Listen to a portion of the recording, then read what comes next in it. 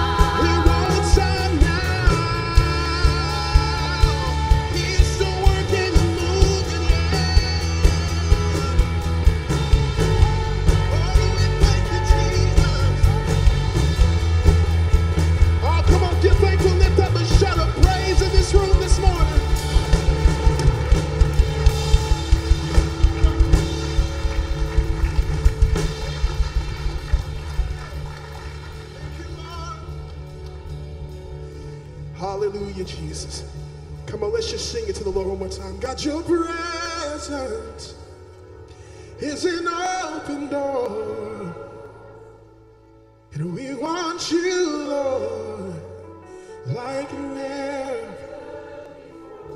Lift your voice in this room and sing it out. Your presence is an open door. So come now, Lord, like never before. Thank you, Jesus. Thank you. Hallelujah, Jesus. God, we worship you in this place, God, this morning. God, your presence, Lord God, is what we need today. God, it's what we desire, Lord God, in this house this morning. So we pray, Lord, fill the room today, Jesus. Fill our hearts, God. Fill our lives, God. We come in, Lord, in one mind, in one accord. God, just like that day of Pentecost, God, pour your presence out. God, this place once again.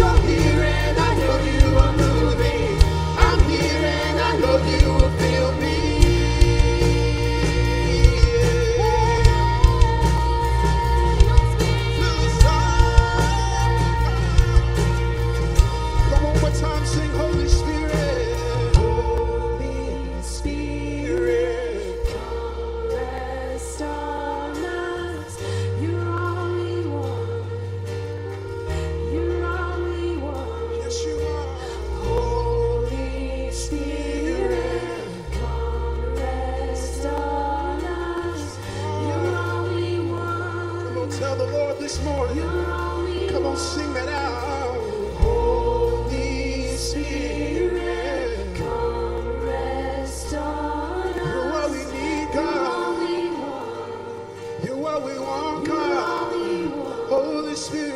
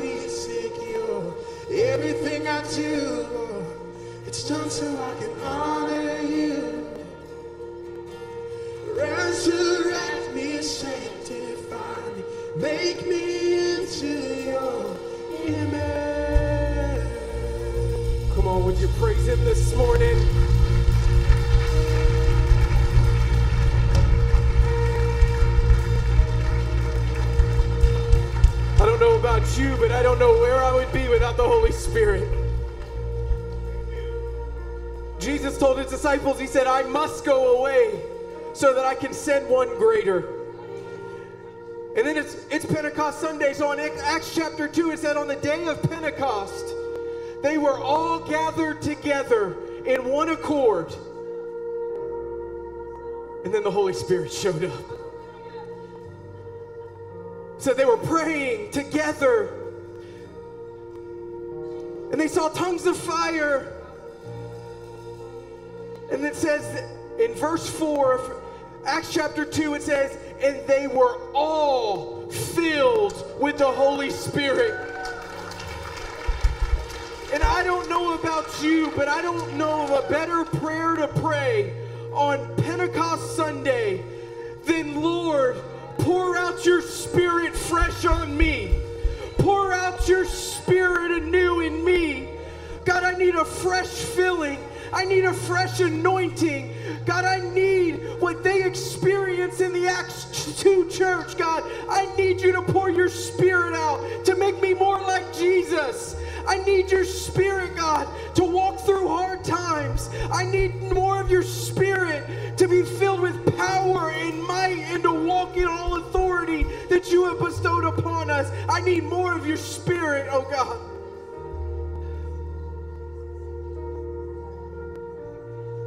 God, I pray that today for a fresh outpouring of your Holy Spirit. God, work in us today. Move in us today.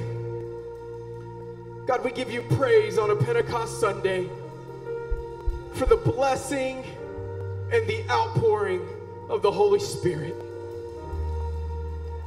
God, we thank you, Lord, and we give you praise and honor today. And the church said, Amen and amen. Would you give God praise this morning? Amen and amen. You can be seated this morning.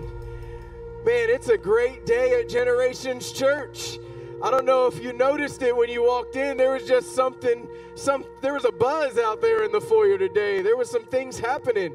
It is uh, Grad Sunday. We've got baptisms. It's Pentecost Sunday. Man, it is a great day here at Generation Church, and we are excited to celebrate with you. If you're a guest with us today, we welcome you. Uh, maybe you're here uh, honoring one of our graduates or honoring one of our uh, baptism candidates. Man, we just welcome you today. You are.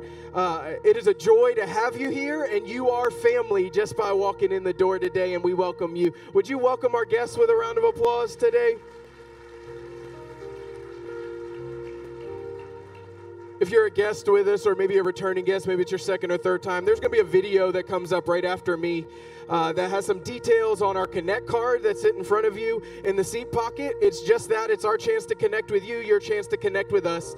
And man, we would just love to follow up with you after today and just, uh, just welcome you again to the Generations Church family and answer any questions that you might have. And uh, man, we are celebrating today. There are so many great things happening at Generations Church, not just today, but over the course of the next, uh, well, I guess it's almost summer now. We're hitting graduation. It's almost summer, and we've got a lot of things happening around here. So check out these video announcements and see all that's happening. Good morning. Thank you for joining us today. My name is Michaela Droz, and here's a look at what's happening around Generations Church.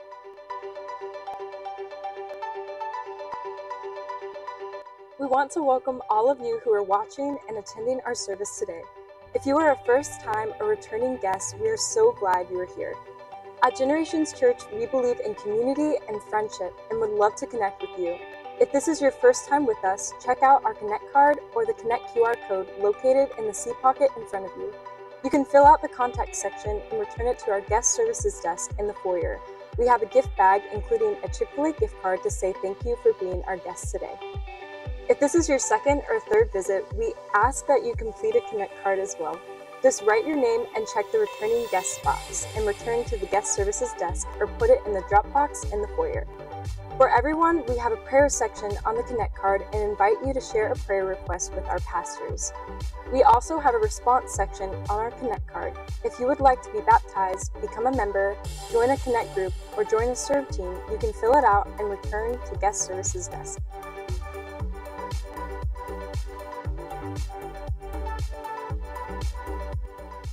Good morning, Generations Church. I want to read a promise from Scripture concerning your giving. Hebrews 6 says, God will not forget your work and the love that you have shown him as you've helped his people and continue to help them. God knows when you give to help others. He knows when it's done out of abundance, and he knows when it's done out of sacrifice. His promise is that he will remember you and will respond at the appropriate time by helping you and blessing you. We have many ways in which you can worship this morning by giving. If you're here with us in person, the ushers are here to serve you, or you can use the drop box in the foyer. You can give online at our website and set up recurring giving at gctlh.org or on our Generations Church app on your phone or by scanning the Give QR code on the seat back in front of you or in the foyer. If you're new to our church, we're so glad that you're here. Please do not feel obligated to give in any way. You are our guest, and we're glad to have you. Again, I want to say thanks for your faithfulness, your heart for the Lord, and for others. Thank you, Generations Church, and God bless you.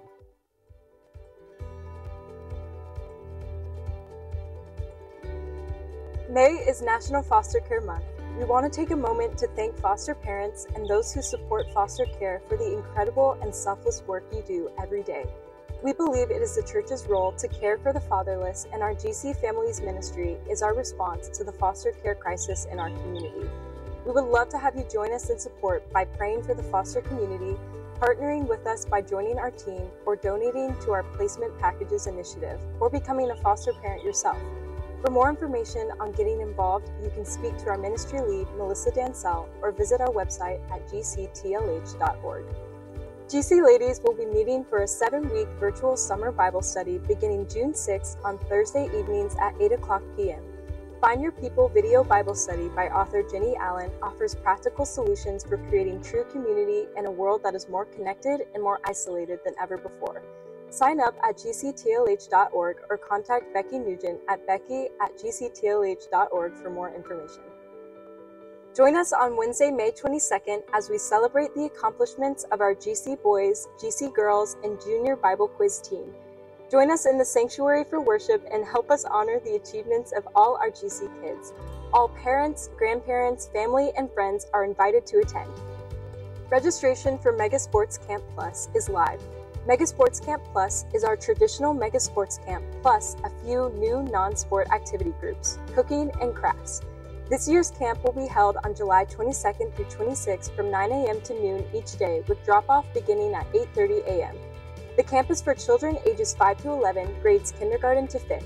Registration is now open. There's a $20 fee that covers all supplies and snacks for the week. You can register your child today on our website events page. For more information regarding Generations Church, its ministries, events, or other serving opportunities, feel free to visit our guest services desk in the foyer. Follow us on social media, download our app, or visit our website at gctlh.org. Thank you for choosing to worship with us today.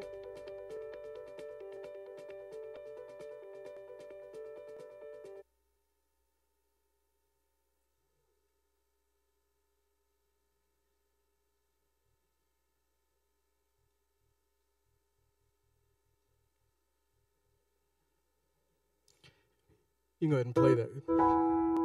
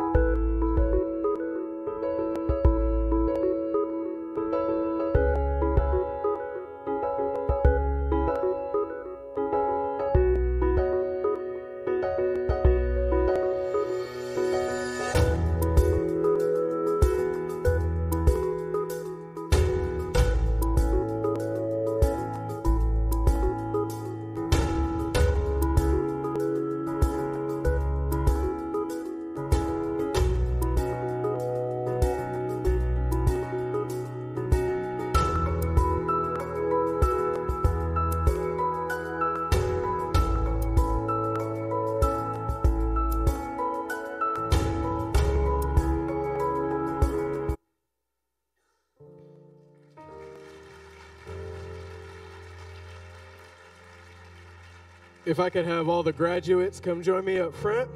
So it's a special day here as we honor uh, the seven graduates of the class of 2024.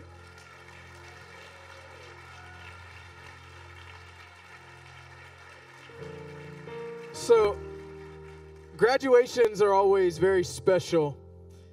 Uh, but I, th- I think that they're a little more special in the context of church. Because at school graduations, we're marking academic success. But as we honor graduates, we're marking a transition of season that God has for them as we propel them from student to adult. And so today is special for us. You see, over the next few months, now that high school has come to an end, we'll see many of them endeavor out on their own for the first time in their lives. They'll enter into college or trade school or work for the first time responsible for their own decisions, outcomes, and yes, students, your own finances. Let me say this first parents, well done. Well done. This is a special group of students that you see before you. It's not often that we get to honor this many graduates. And so I just want to say, you hear it often that the Bible says to raise up a child in the way they should go, and when they are old, they will not depart from it. That is my prayer over each one of your students today. That you have done the work to raise them in the way that they should go. And, students, your responsibility is to never depart from it.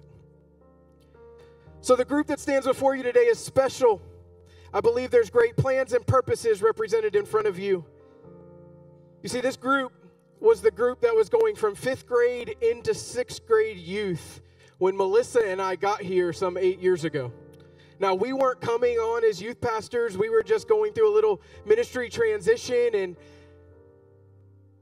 but man, this class right here has left an impression on us that other classes are going to have a lot to live up to.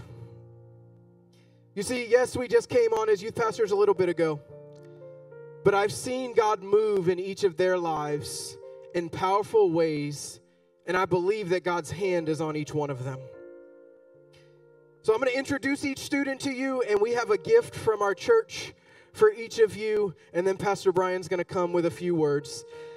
The first is Gavin Bush, son of Jeffrey and Jessica Stowell, graduating from North Florida Christian School. Gavin won the Christian Character Award. He is a member of the National Society of High School Scholars. He's an honor roll student, Defensive Scout Team Player of the Year, highest academic achievement award during his junior year, represented North Florida Christian School in the state facts competition, where he received a superior ribbon for his short sermon. Gavin plans to become a paramedic, a firefighter, and a SWAT medic, and I'm not really sure how he's going to pull off all three.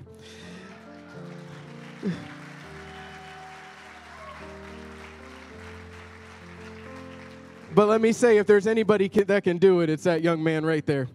Gavin's greatest memories at Generations Church are going on missions trips, developing lasting friendships, and building a closer relationship with God. Chase Garrison, son of Jason and Emily Garrison, graduating from Florida State University School. Chase graduated with honors as an honor roll student. He is the recipient of the Buddy Martin Athletic Scholarship and is also a leader in Florida High's FCA. Chase plans to attend the TCC to FSU program studying athletic training. And his greatest memories at Generations Church were the two, 2022 Forward Conference trip and getting baptized as a child.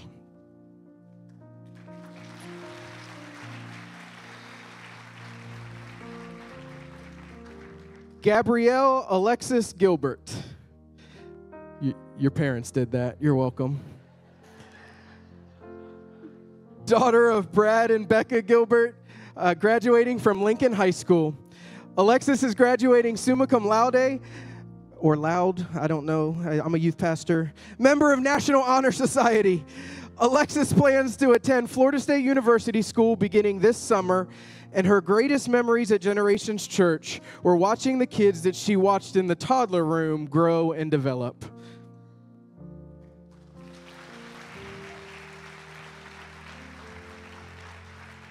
Matthew Kunkel, son of Brian and Stacy Kunkel. Matthew's graduating from Godby High School and plans to begin trade school after graduation. Matthew's greatest memories at Generations Church are some of the memories he made while in children's church.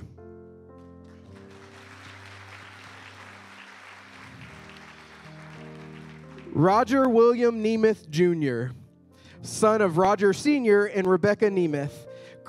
Uh, Roger is one of our homeschool graduates uh, who wanted me to make sure that you knew he was valedictorian of his class.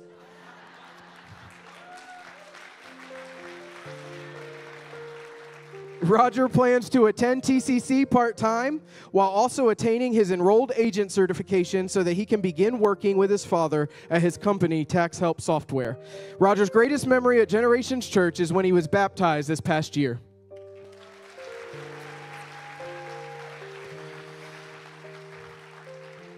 William Colin Nestor, son of Brad and Lee Nestor, graduating from Leon High School, graduating summa cum laude, National Merit Scholarship finalist, and recipient of the Benacquisto Scholarship.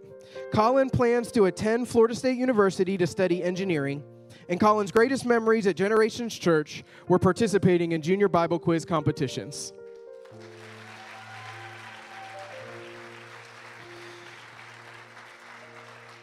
And then finally, we have one graduate who has already graduated and moved to Central Florida, so she's not here, uh, but we wanted to be sure to honor her. That's Kaylee Williams, daughter.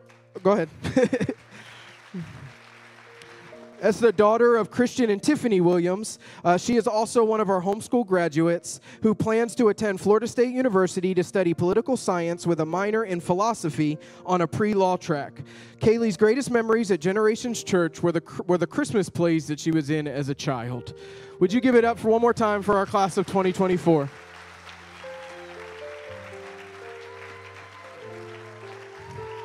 Amen.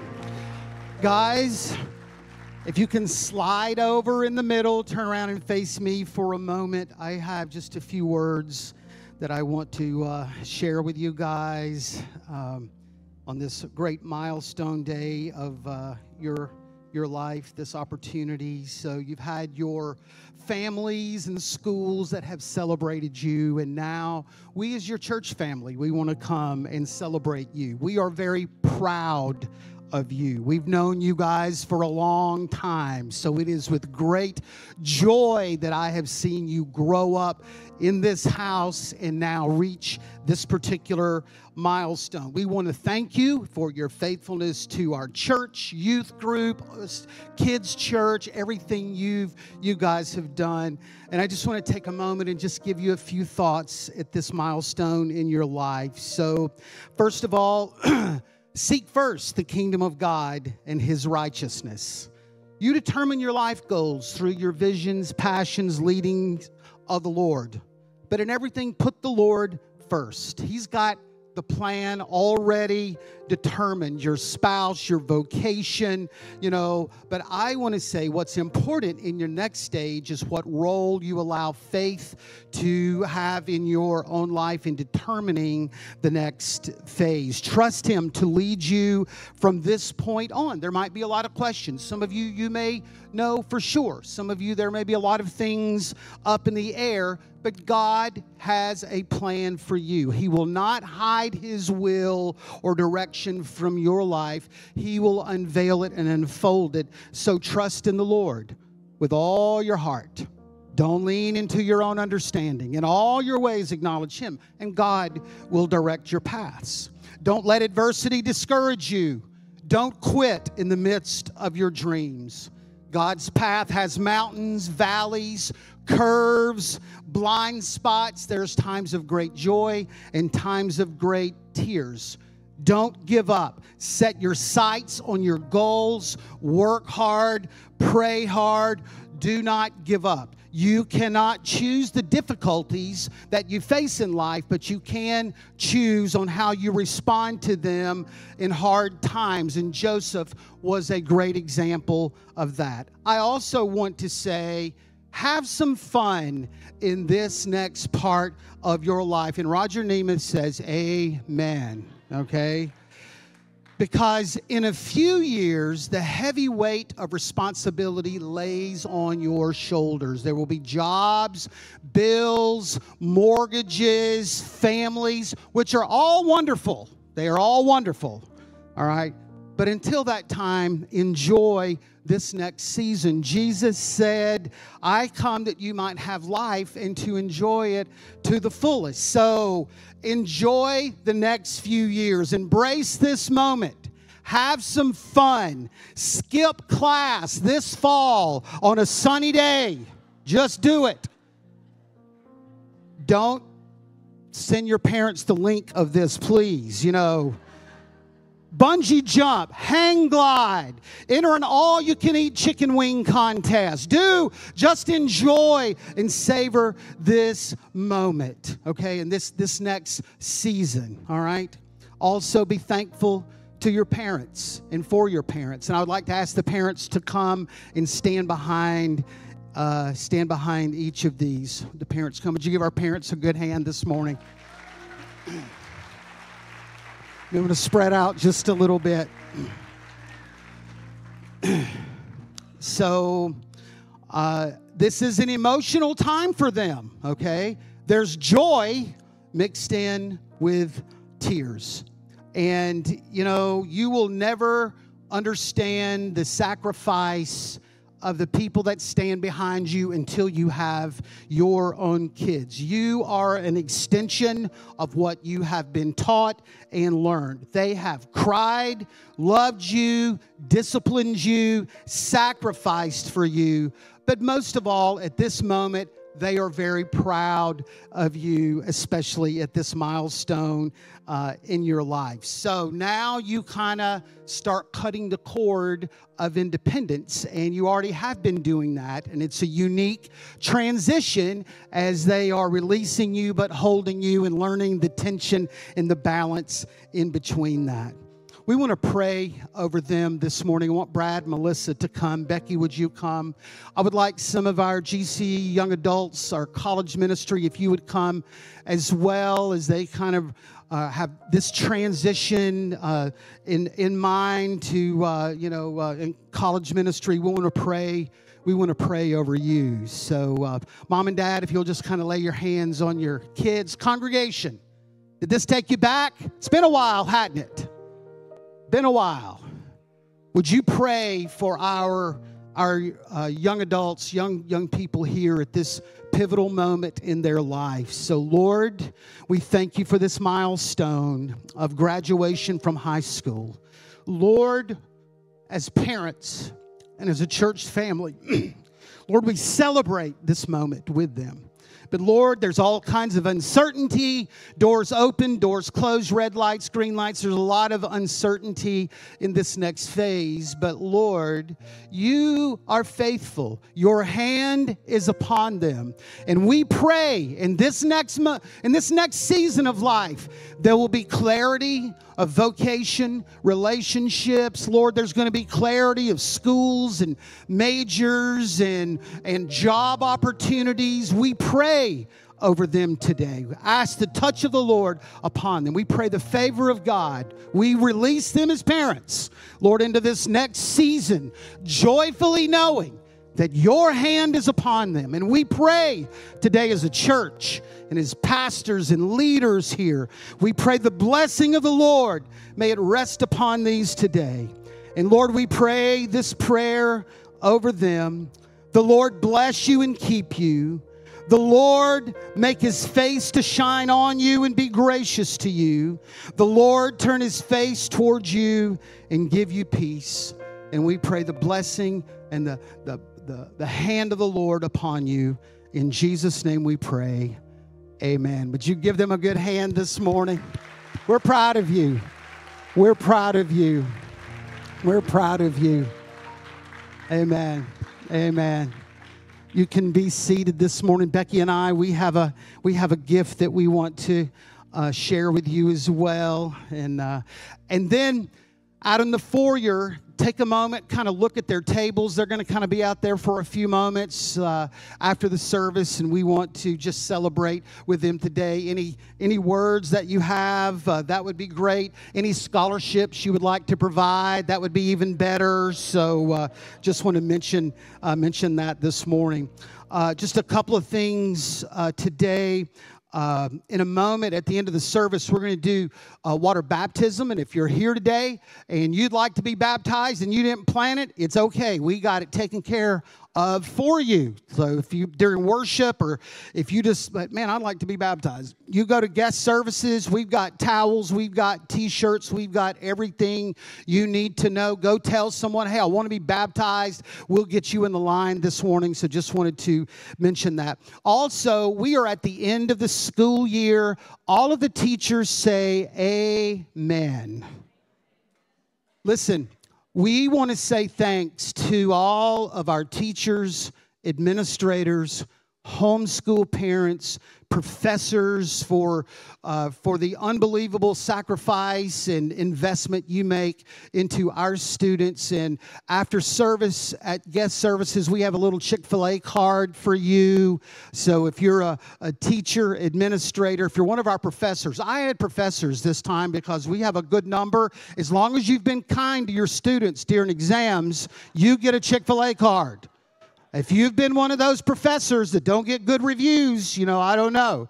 They can they can they review professors now. So we just want to say thanks to all those. Would you give them a hand? We're so so honored today. And lastly, we did a food giveaway a few weeks ago. We have tons of pallets over here. They are free. So, women, if you have been praying for a new pallet wall in your room, in your house, but there was just no pallets, God has provided for you over here. First come, first serve. Pick them up when you leave. Galatians chapter five. Please, please turn there this morning. Galatians chapter 5, uh, continuing uh, a series on called Good Fruit. Good Fruit. In this series, we are looking at the continued spiritual conflict with our flesh and the powerful working of the Holy Spirit that makes us like Jesus. We're in the fourth, uh, the fourth part of this series. So, and this kind of, uh, you know, this kind of uh, uh feeds right into it. But today is Pentecost Sunday. So, some of you may know what that is. Some of you, this may be kind of new, but Pentecost Sunday commemorates the descent of the Holy Spirit on the apostles and the other followers of Jesus while they were celebrating the Feast of Weeks. So, what happened 50 days after uh, the resurrection of Jesus, there were thousands of people that were, you know, that were in Jerusalem for this festival called Feast of Weeks or Pentecost. They called it later Pentecost because of the 50, it was 50 days after the resurrection of Jesus. So they were in Jerusalem for this, for this festival spelled out in the book of Leviticus. It was the celebration of the spring harvest. So they were thankful the harvest was over. It was kind of a relief. You brought offerings to the Lord, all the hard work had been done, and now it was some time, now it was time to have some fun. So during this festival, when thousands of people are in Jerusalem to for this Old Testament festival, something unusual happened during this festival of Feast of Weeks or Pentecost. I want to read it. When the day of Pentecost came, they were all together in one place. Suddenly, a sound like the blowing of a violent wind came from heaven and filled the whole house where they were sitting. They saw what seemed to be tongues of fire that separated and came to rest on each of them. They were all filled with the Holy Spirit and to began to speak with other tongues as the Spirit enabled them. Jesus had told them, There's going to be a time that I'm going to go away, but you're going to be better off because when I go away, the Holy Spirit is going to come. I'm sure that caused great confusion. They didn't understand that, but this is the moment that the Holy Spirit came, you know, to empower the church. And for 2,000 years, the Holy Spirit has been empowering the church and empowering, uh, empowering believers. Now, this movement started very strong, and I want to encourage you if you're new to what I'm talking about,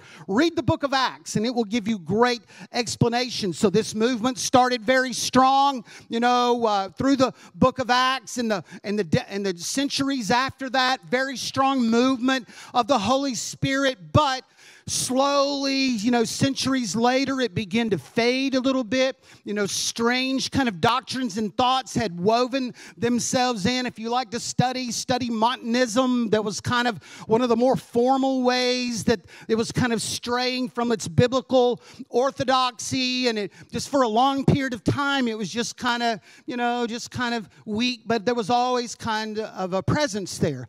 Then in 1906, in Azusa, uh, in Azusa Street in Los Angeles, California, the modern day outpouring of the Holy Spirit began again. William J. Seymour was teaching about the baptism of the Holy Spirit. This group of very poor people were filled with the Holy Spirit again, and it started what we know as the modern day Pentecostal spirit filled movement. If you see this picture up here that was taken right after that, William J. Seymour, what's interesting about this, he's the man sitting in the middle. He is African American. There are all kinds of different races. There are women that are included. And I think it's a wonderful picture of the church. This initial outpouring that started in Los Angeles, California, started working its way throughout the United States. The Assemblies of God was founded probably 12 years after that, and today, worldwide, the Pentecostal uh, charismatic Christianity, they number over 644 million adherents. Okay? So this is not an infant movement this morning, this or anymore. This is a powerful movement blowing across the world. Pentecostalism is believed to be the fastest growing religious movement in the world. Revival, unbelievable revival in Korea. Okay, most of the Christians in Korea are of spirit filled background and they are sending missionaries around the far east. There is a wonderful revival in Argentina and Brazil, unbelievable outpouring of the Holy Spirit. Sub Saharan Africa, Nigeria, Kenya, Botswana are experiencing unbelievable revival today. So, Pentecost Sunday is a reminder to us of the coming of the Holy Spirit to the church and a promise to believers today to be baptized in the Holy Spirit. We believe what happened in Acts 2 to those believers in the church are still for you and I today. So this is not. This is not just a memorial, this is a fresh commissioning of the church for a fresh outpouring of the Holy Spirit upon the church. And we are going to do that in the end. We say, Welcome, Holy Spirit. Do your work in our church and in our lives. So, as the book of Acts spells out the working of the Holy Spirit, uh, in the church uh, as far as spreading the gospel and evangelism. Galatians, and this all ties together. Galatians is the working of the Holy Spirit in the hearts of people to make sure that those spreading the gospel were like Jesus. Okay, they were living like Jesus. So, so this is part of the series Good Fruit. Galatians 5, and I want to read you this passage, Galatians 5 and verse 16. It's kind of been our it's been our theme. So I say, walk by the Spirit, and you will not gratify the desires of the flesh.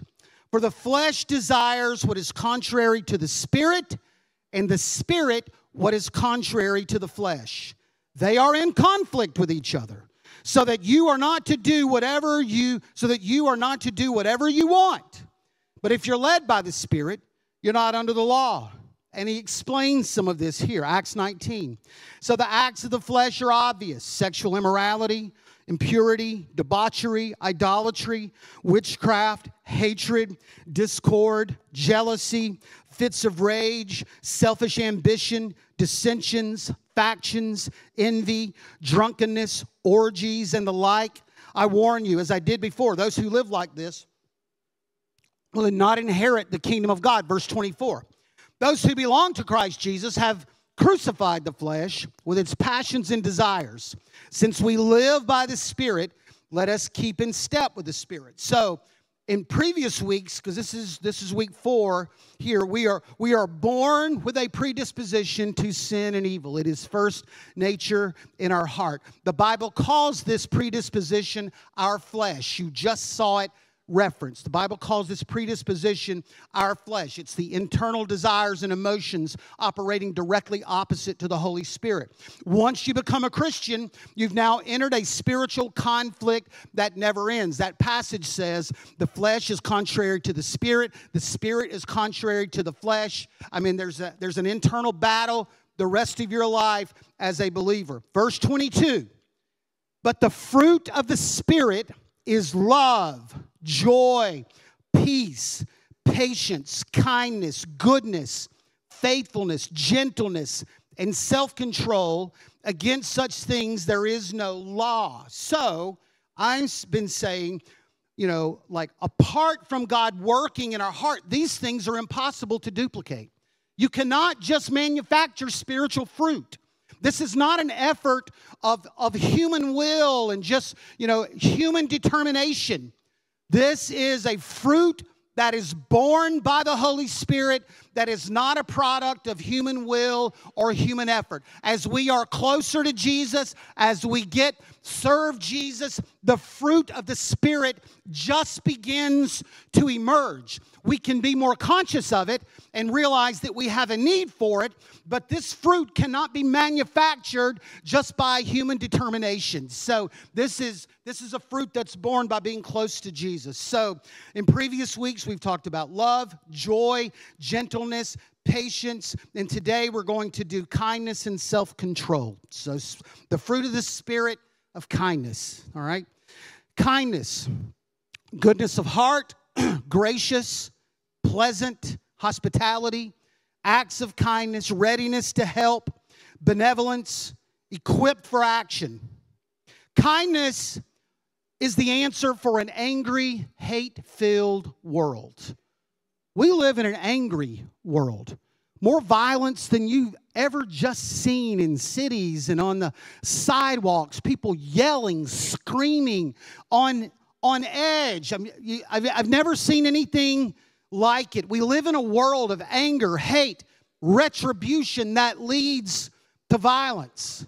This generation of politicians are the worst. They are name callers and mockers, and they speak terribly about their opponents, and they put that seed into our heart as well. TV news opinion shows are absolutely the worst. I stopped watching them because they drive you to hate and, and lead you to hate those that think differently than you. Social media influencers, some of them are the worst. They will drive you to anger, to hate, to violence over certain topics. And listen, that is not what Jesus teaches. Kindness is the answer for an angry, hate filled world. Jesus doesn't teach that, and let's don't fall for that. We do not hate people who believe differently on certain things than we do. We need kindness. Kindness is anti Darwinian and places value on the powerless, hurting, broken, and those with needs. Darwin said the stronger will eventually overtake the weak. The gospel of Jesus is antithetical to that teaching. It places value on those that are struggling and hurting. It implores us not to just watch their demise or sit idly by, but be proactive in helping and serving those. So, kindness is anti Darwinian and places value on the powerless, the hurting, broken, and those with needs. Kindness lifts, encourages, and supports others. We live in a world that is beat down, under pressure, loaded with stress and trouble. People like that, and we all, we, we probably feel that way ourselves sometimes, but when you are in that situation emotionally, you are on the edge. People are open to a kind act, a thoughtful deed, an uplifting word, and a smile. Kindness lifts, encourages, and supports others because there's power in kindness. As a follower of Jesus, I'm kind. As a follower of Jesus, I'm kind. I can be kind to others. And there's no limit on kindness. You don't have, you know, a kindness cap. Okay, well, I've done my kind acts for the week. I can move on. There is no limit to kindness.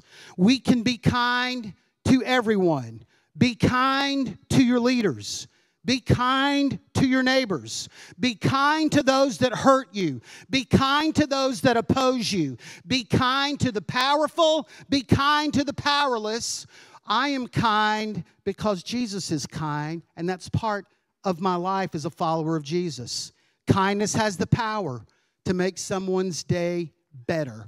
Kindness, kindness is life giving, okay? Si- kindness has the power to open the door to someone who's going through a hard time, and, and maybe there might be conversation. Kindness has the power to build up those that have been beaten down. Kindness can lift, encourage, and give hope to those that have no hope. Kindness can be a nonverbal way to communicate the love of Jesus and build a bridge to others.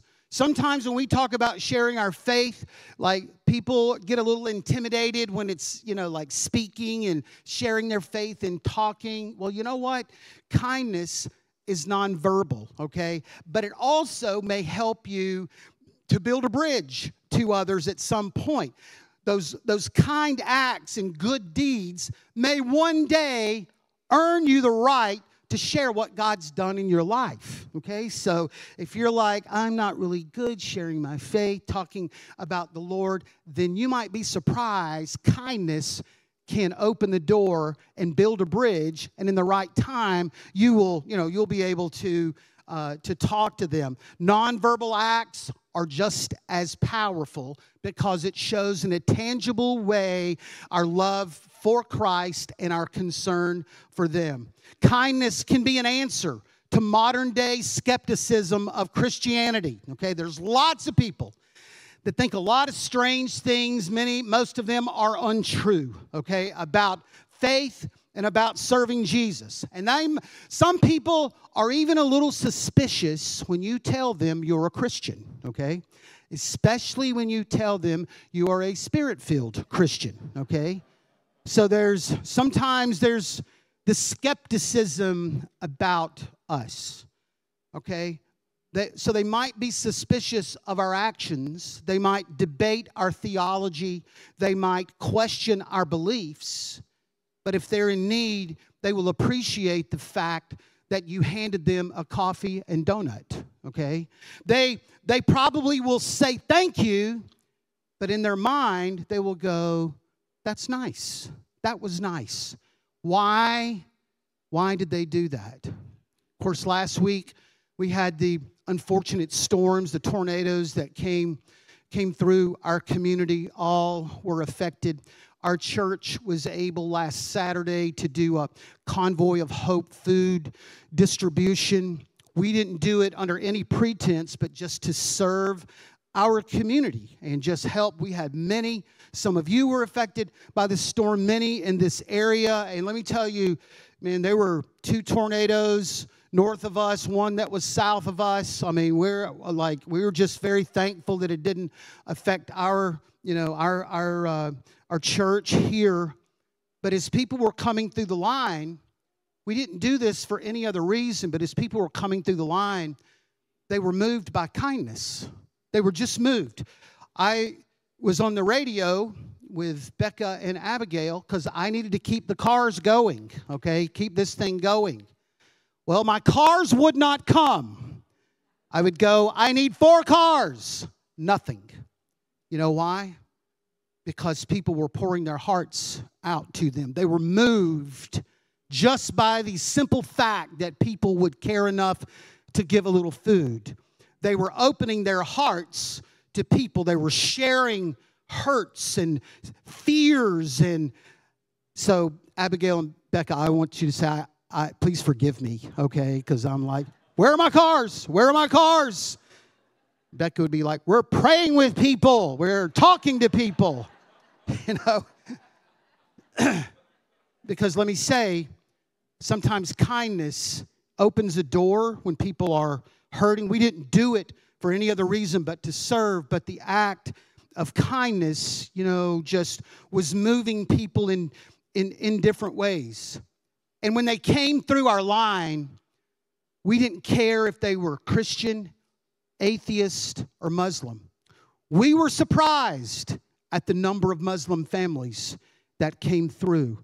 There's a community of people from Afghanistan that live here in Syria. They, we were surprised that they would come through the line of a, of a Christian church. But when you don't have any food or you're, you, you are at risk, we were surprised. So it didn't matter to us, you know, uh, Christian, atheist, Muslim, gay, straight, saint, or sinner, it didn't matter. It didn't matter because, you know, we wanted to do something, you know, for our community there, but I'm just going, many people are moved by random acts of kindness. Kindness is given with no strings attached, okay? Don't be kind to just those that might possibly be able to help you later on. We are not trying to build kindness credits. There is no such thing, okay? We just are kind, okay? We're, we're, we're, not trying to manipulate others with kindness, okay? When we do a kind act, it's not necessarily that they have to come to church here when you do a kind act. Sometimes that happens. They're moved, but we don't do something to get them back. We just serve Jesus with kindness. Be kind and generous. Whatever you give, God will repay. Sometimes kindness costs money. Sometimes kindness costs money. And I just say to you, don't worry about the money.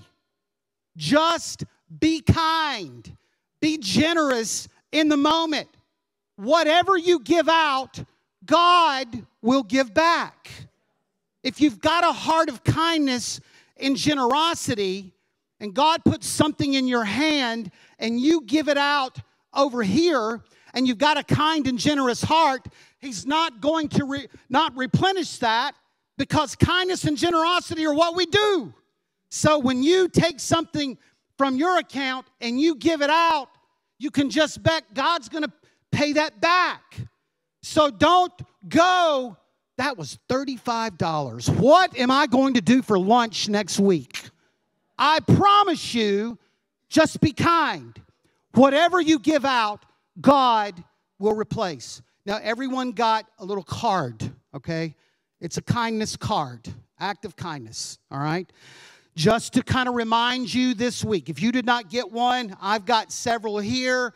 They are, they've got them at guest services. So this week, I want this card to just be a reminder. Somewhere this week, I want you to do an act of kindness somewhere, okay? I want you to find some something and do something nice for someone. Just kind. Cookies and donuts, take them to work, pay for someone's fast food meal behind you in a drive through, which I've done, but make sure it's not a uh, family van behind you. It could cost you more money than you plan.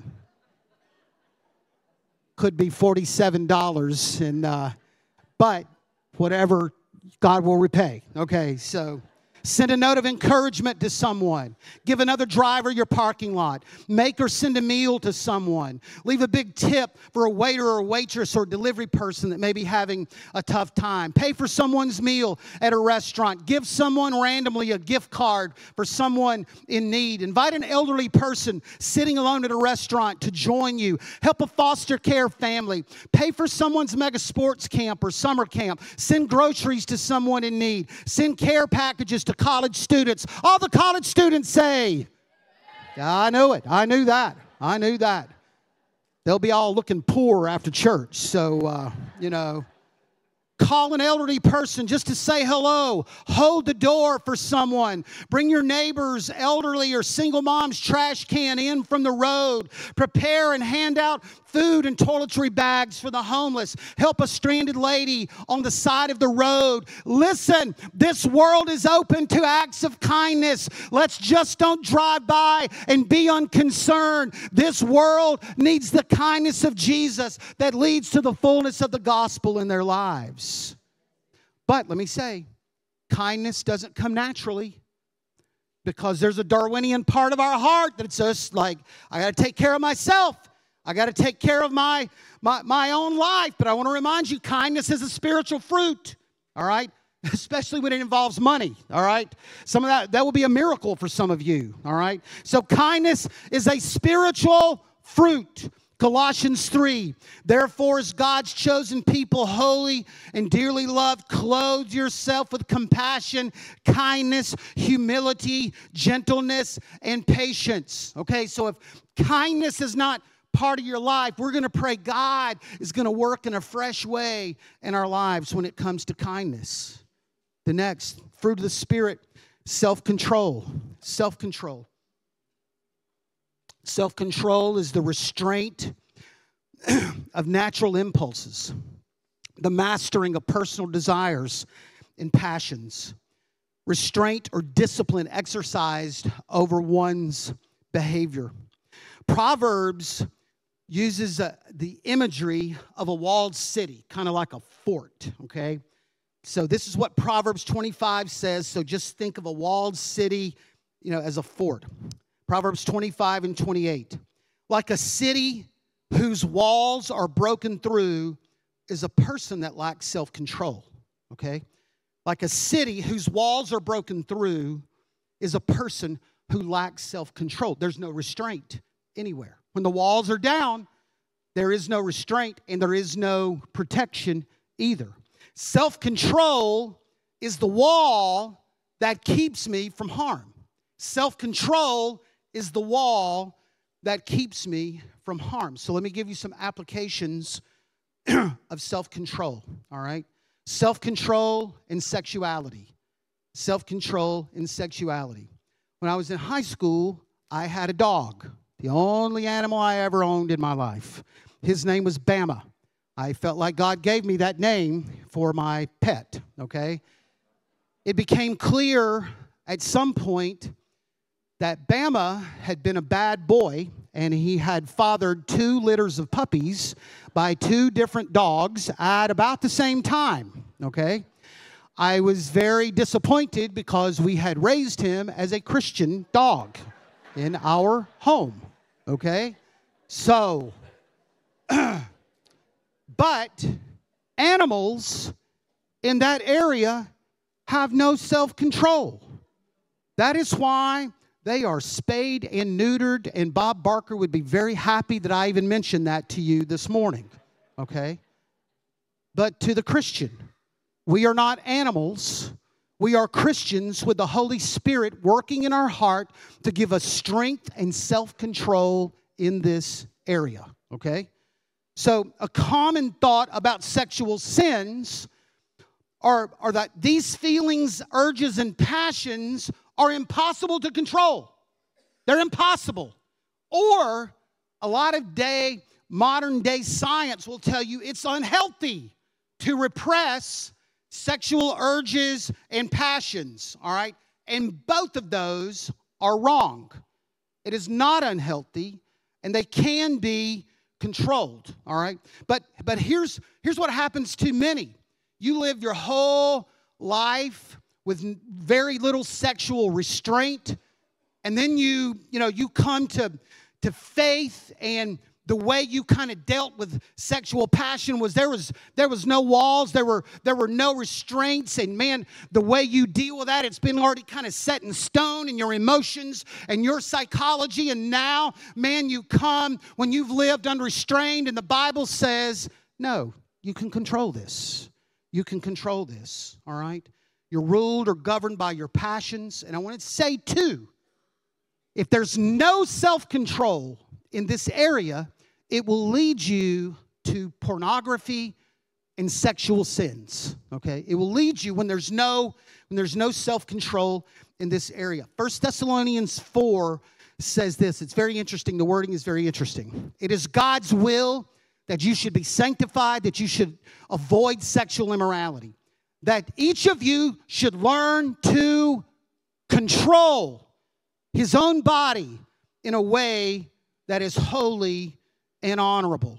So we're followers of Jesus with the Holy Spirit working in our hearts to give us strength and self control over carnal sexual urges and passions. Now, let me say again this is not something you necessarily fight on your own.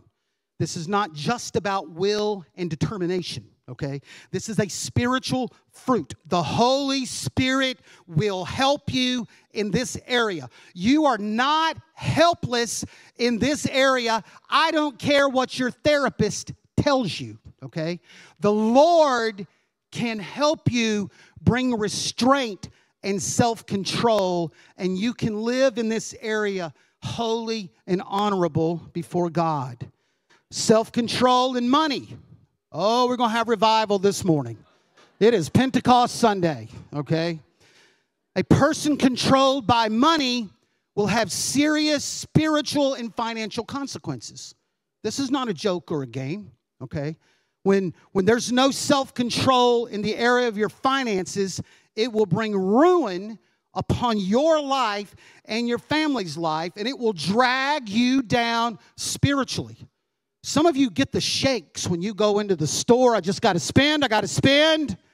And now you don't have to go into a store.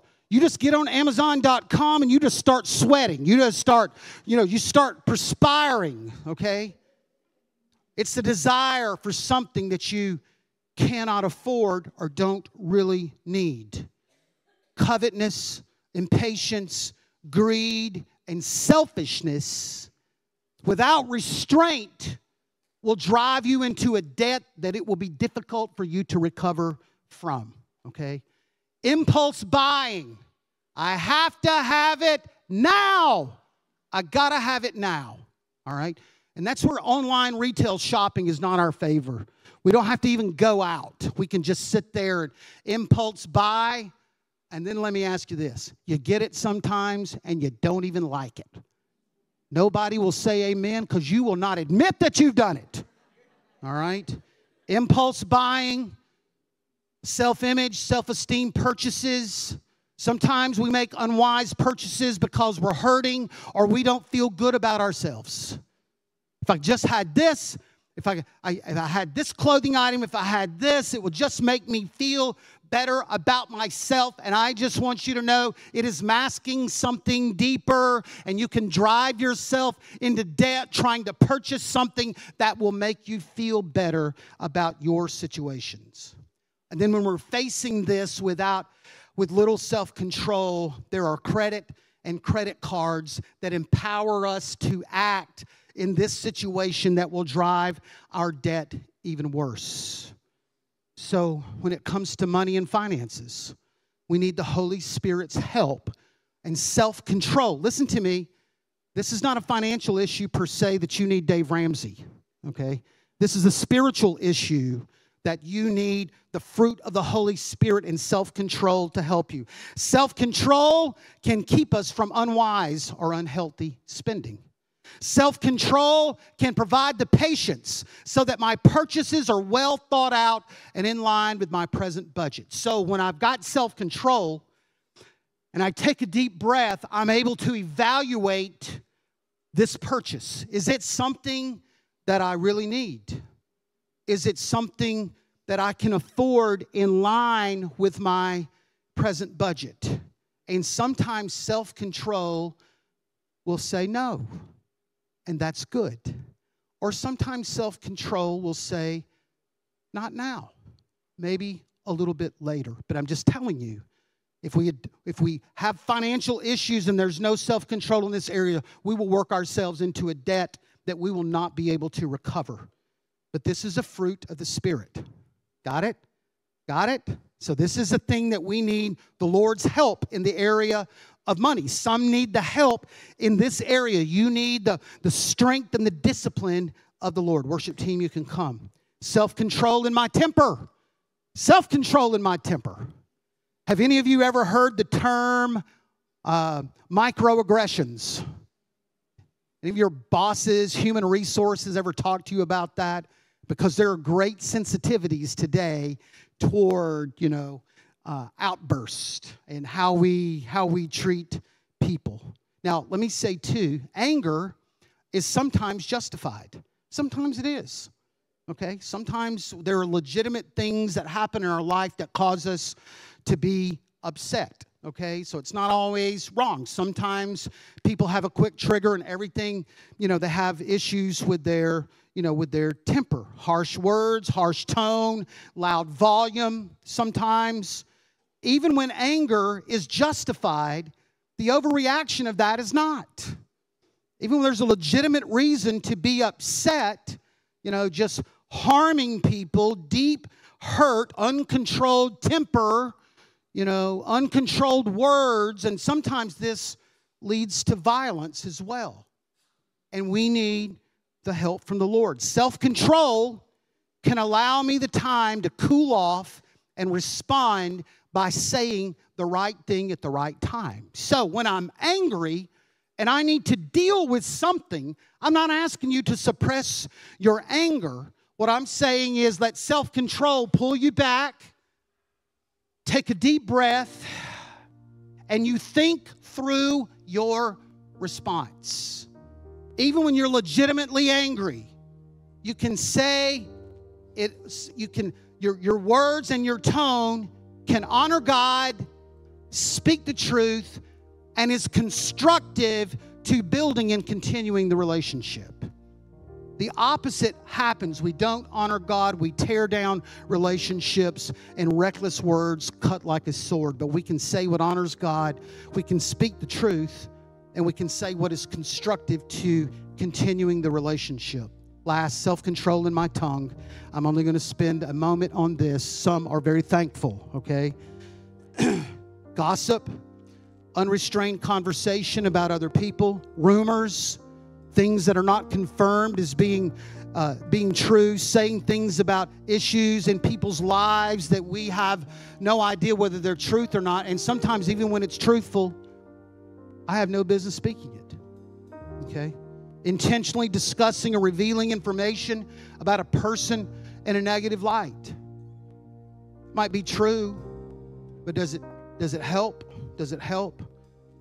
And some people even enjoy talking about the misery of other people. For some reason, it makes them kind of feel better about their, their own life, okay? So, let's remember this. I don't have to speak everything that I think. They're going to put that on the screen. All right? Pop that up there. There you go. I don't have to speak everything that I think. Would you repeat that with me? I don't have to speak everything that I think. I just feel like this side needs to say that one more time. I don't have to speak everything that I think, okay? So self control, self control says, hey, there may be, like, for whatever reason, I'm wanting to talk about this, but I don't have to do this. Self control can keep me from gossip, rumors, and from conversations that hurt others and my testimony as a follower of Jesus, okay? So we need, we need, man, you'd think, man, self control is not that important. Self control is huge when it comes to our testimony. Again, you can't just by human will and determination, I'm going to be a little better in this area. This is a fruit of the Holy Spirit. This comes from the depth of our relationship, the Holy Spirit bearing fruit that can help us in this area. Would you stand with me this morning? We're going to do baptisms in just, just a moment but I want to take a moment and I just want to pray. Today's Pentecost Sunday. We're just going to take a moment and we're just going to pray for the power and the presence of the Holy Spirit to be in our lives. And then we're just going to take a moment and we're going to pray for the fruit of kindness and, and uh, self-control this morning. Brent, go ahead and let's just sing that. Come on, let's let's worship for a moment as we prepare for baptism. Holy Spirit, make me more like Jesus. Come on, sing it. Every day a little more like Jesus. Crucify my flesh with yours, that my new life might be secure. Everything I do, Lord, is done so I can honor you. Resurrect me, sanctify me, make me more like you. Holy Spirit, make me more like Jesus. Come on, sing it. Make that a prayer this morning. Every day a little more like Jesus. Crucify my flesh with yours,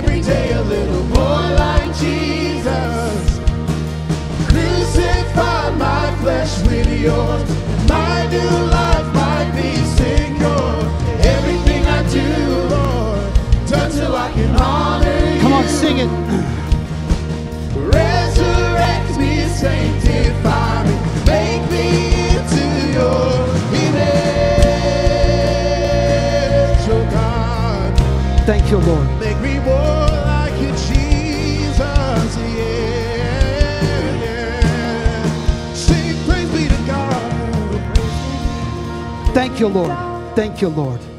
Thank you, Lord. Thank you, Lord. So let's let's pray this prayer of Pentecost and for these fruits. So, Lord, 2,000 years ago, Lord, you blessed the church by sending the Holy Spirit upon believers, and we are thankful, and we are the recipients of that act in the upper room on that day. We thank you for new life. We thank you for the gift of the Holy Spirit that is our comforter, our convictor, our guide, our spirit baptizer. And this morning, as a church and believers, we ask you again to pour your spirit out upon the church. Lord, we need your power. We need your presence. Lord, we need the filling of the Holy Spirit, Lord, to spread the gospel and to be the church. So we pray today for the presence of the Holy Spirit. Fill our hearts with your presence, Lord. Baptize us today in the Holy Spirit as you did in Acts chapter 2. Lord, we pray that you would empower us to spread the gospel, to live out our faith boldly. Lord, we pray for renewal and revival and awakening, Lord, in the church and in the hearts of people. Pour your spirit out upon us. Lord, we pray the gifts of the Holy Spirit. Lord, let them emerge from your church. Help us to use them for your glory and the good of others. Lord, we pray for the fruit of the Holy Spirit. As we are doing ministry, Lord, let us be like Jesus. Lord, let us reflect you in character and in personality. Lord, pour your spirit out upon us. Would you take a moment just in your own way and say, Lord, fill me with the Holy Spirit, refresh me with the Holy Spirit this morning, Lord. We need your power. We need your presence. Lord, fall upon us again. Holy Spirit, we need you, Lord. We need you, Lord. Now, Lord, we pray. We pray this morning for the fruit of kindness. Lord, if it it's not a, manufactured human emotion, it is a fruit of the Spirit. And Lord, we pray in this area, Lord, that as we're aware that we'll be just more kind, more considerate, more compassionate, more generous. Lord, it's the opposite. It's the opposite of so many things in our culture today. And we pray for the fruit of the Holy Spirit in our lives. Lord, we pray for the fruit of self control. You don't want us to be like a city with no walls. Self control provides the barrier and protection that we need. We pray, especially in the area of sexuality, money, temper, and tongue. Lord, let the fruit of the Holy Spirit, let this that let, let these walls guide and protect us. We pray actively, Lord. We pray actively, Lord, for the fruit of the Holy Spirit in our life. And we give you praise today. We give you praise today. Thank you, Lord. Brent, lead us again in that. We're preparing for baptism this morning. Oh, Holy Spirit, come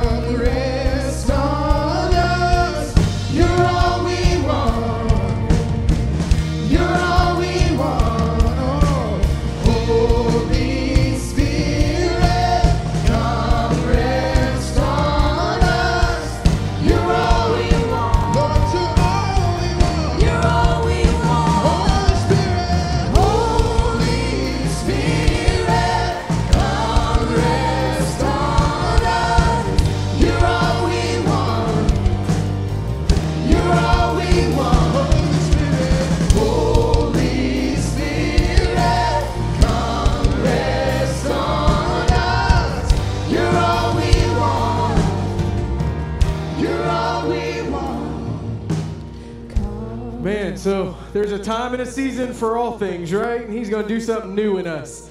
We celebrated graduates earlier. We get to celebrate new life now. And so, everybody, this is Josiah. I have the luxury and privilege to baptize him and his sister. You go ahead and be seated.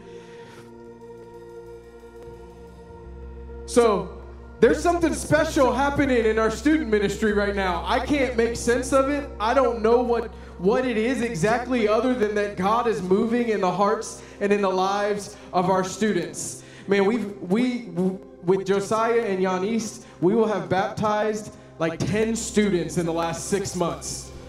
That's special. And I make mention to that because Josiah here, we asked him why he wanted to be baptized. And he said, Man, I've just, over the last couple of months, I've just really started to take my faith more seriously. I've been reading my Bible, I've been listening to worship music, and now is the time. And so I have the privilege to baptize Josiah. Josiah, you believe that Jesus died for you and rose again uh, so that you could spend eternity with him. Yes. and you promise to spend the rest of your days serving Him. Yes. All right, let's baptize you.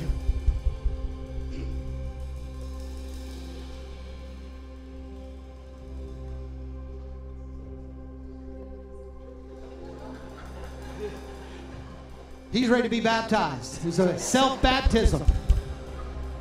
Josiah, because of your profession of faith and because of your desire to live for Jesus all the days of your life, I baptize you in the name of the Father, the Son, and the Holy Spirit.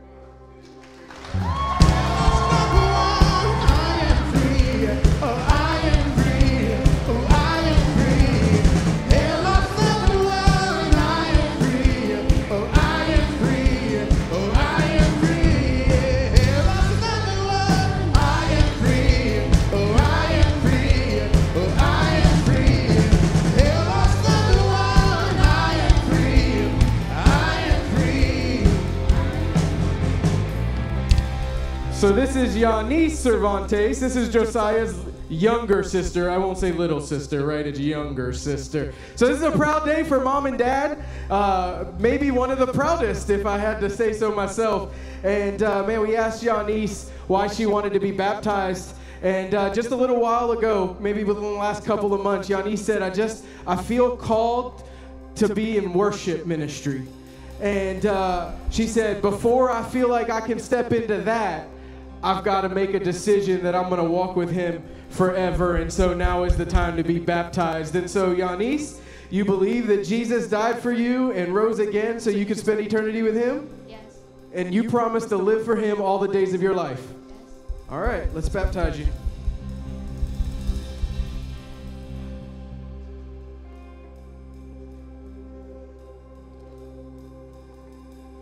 Yanis, because of your profession of faith and your desire to live for Jesus all the days of your life, I baptize you in the name of the Father, the Son, and the Holy Spirit.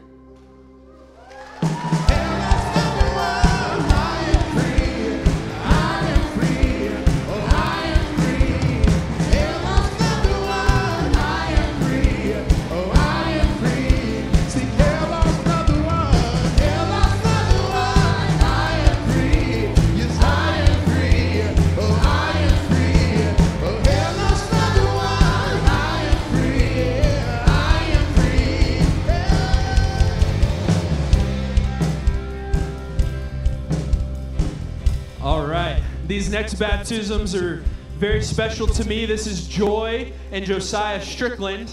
And uh, many of you know Miss Linda. She's been in this church a long time, and a really cool moment for me because Miss Linda was my Sunday school teacher as a child. And uh, so her investment into me uh, obviously has made a huge impact on my life. And so to have the honor to be part of these two baptism is it just means the world. And uh, joy i asked her joy why do you want to be baptized? And she said well i've accepted jesus like a thousand times. So and i said well it sounds like you're ready then. But uh, both of these guys joy and josiah they both said that they've been made new because of jesus and they want their church family to know uh, that, that they are new creations because of him, and they want you to know that they've decided to follow Jesus. And so uh, we're going to baptize both of them today. We'll start with, uh, let's go ladies first. Uh, Joy, hop on in.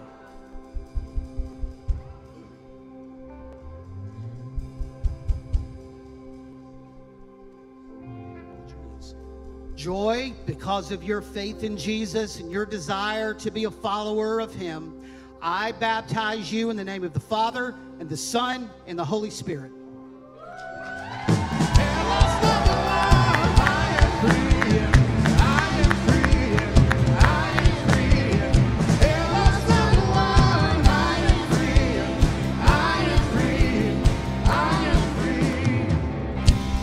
And this is my buddy Josiah. I love Josiah. I love both of these. Now, anytime you see Josiah, normally he's got a donut in his hand. All right? All right? Now, he's not going to share with you his donut, but he will go get you another one because he's a servant, but he won't share. No, I'm, I'm excited for this whole family. Linda, long time investment. You've seen the fruit, the fruit of that. Let's baptize Josiah. Josiah, because of your faith in Jesus Christ and your desire to be a follower of Him, I baptize you in the name of the Father, and the Son, and the Holy Spirit.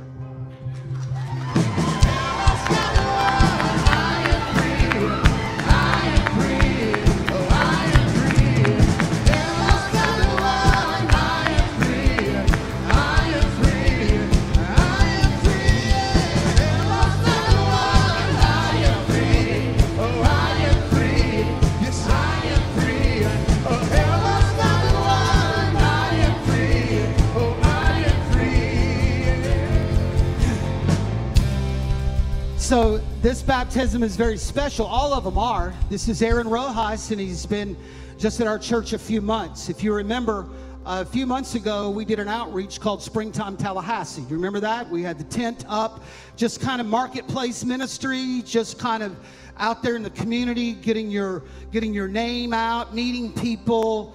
Uh, I was there for the last hour to kind of help them kind of pack up, and Aaron came up to the booth and talked to our team and got information about the church. And Aaron was in church the very next day. And over the last few weeks, Aaron has given his life over to Jesus.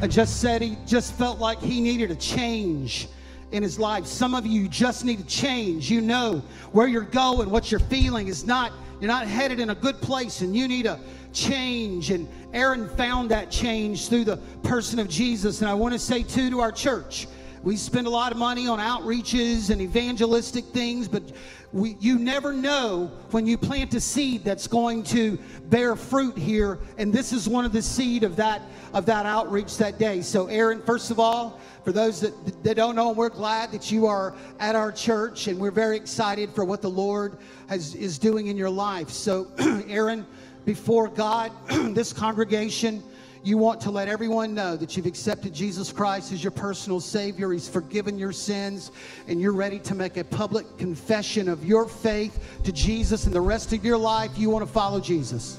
Yes, I do. Let's baptize.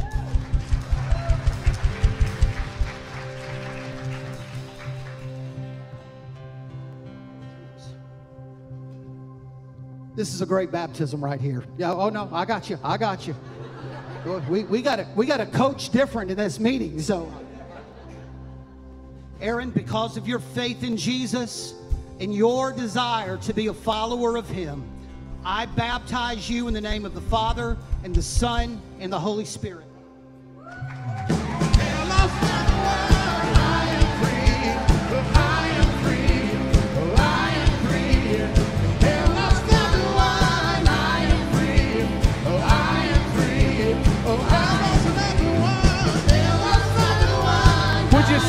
Us this morning?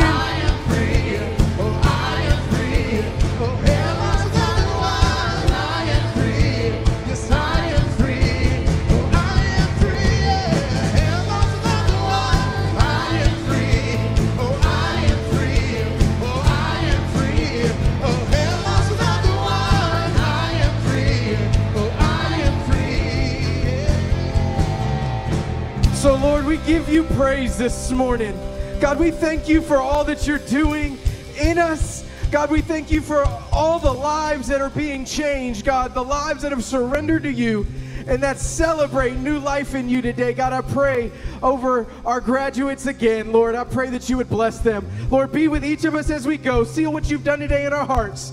God, and we leave here today rejoiceful that you are drawing us close to you, Lord. We give you praise this morning. In Jesus' name we pray. And the church shouted, Hey, you are dismissed. Make sure you check out our graduates out there and say hello. Encourage them with a kind word. And uh, be blessed this week. We'll see you next Sunday.